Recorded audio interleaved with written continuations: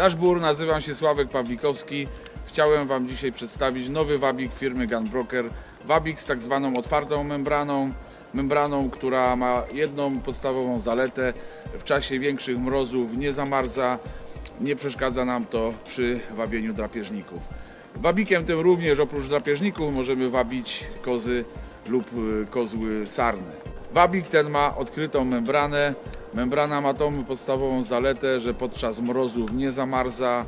Bardzo łatwo się na tym wabi. Możemy ustami modulować dźwięki, ich wysokość, y, również ich wysokość lub, lub niskość dźwięków. Możemy tutaj regulować tą gumką, jeżeli ktoś nie posiada odpowiednich predyspozycji, y, więc może sobie to tutaj regulować w ten sposób.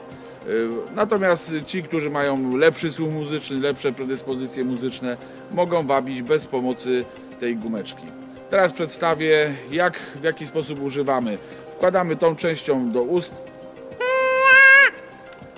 Dźwięk możemy wydawać niższy, jeżeli złapiemy ustami bliżej końca tutaj y, membrany. Jeżeli złapiemy go wcześniej, dźwięk będzie wyższy.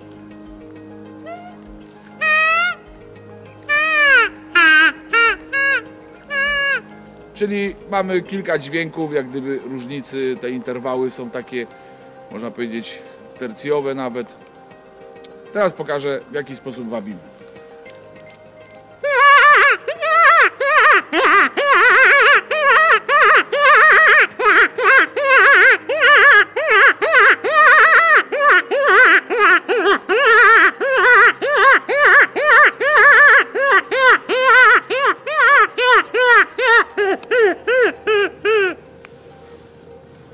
Nowy wabik Gunbrokera.